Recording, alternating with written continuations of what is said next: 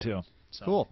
Well, on that note, everybody, thank you very much. These have been your judges. Thank you. Brian Finifter, Trey Stokes, Hello. Ryan Wieber, Dorkman Scott, Eddie Doty. I'm Hello. Teague Chrystie. I was running the video mixer. And in Whiteley's intro, I would just like to point out, I was like, lower third, lower third, lower third. I was trying to keep up with it. And, you know, I, only- I only had a couple of flubs the entire three hour show, so that was not bad. Yeah, well done, by the way. This is Yeah, Yeah, this is uh, we, we, nice should, we should take a moment to, to, Teague, give, to, yeah. to give props to Teague, who spent what, what did you say, 40 hours trying to get this whole setup. If if, if more if not more than that, yeah. and it's- it's a really amazing setup, and it went off without a hitch. Was Which, given, given all the technical possibilities for major fuck ups, everything to in this could have gone wrong. that, the it, fact was, it was hard. The fact that it went off without a hitch is amazing. So And, bravo. and Yeah. again, one more time, as as totally like short bus and, and pat on the head as it sounds, congratula- really congratulations to everyone for all getting our something contestants. together and winning Very and, and doing it because because it really was a good showing this year. Ladies and gentlemen, this has sort of been Down in Front.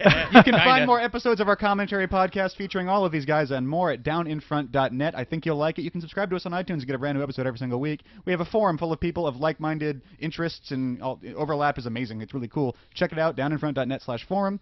And until next time, my name is Teague Chrystie, Brian Finifter? Trey Stokes, Ryan Wieber. Mike Scott. Eddie Doty. and this has been Down in Front's judging of the LCC 8. Thank you very much for listening. Good day, good day. Yeah. So long, everybody.